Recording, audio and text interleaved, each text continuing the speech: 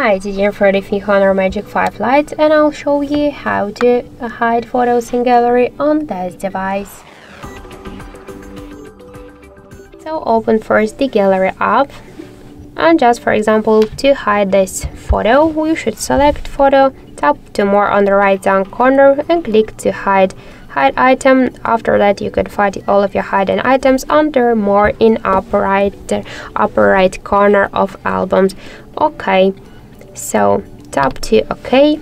Now let's go back to the albums tab. Tap to the three dots or more icon and click to hidden apps. Hidden items you'll find all of them here. You could mm, add here more items by click to this plus icon but if you wanna hide some photos from here hold it and tap to unhide.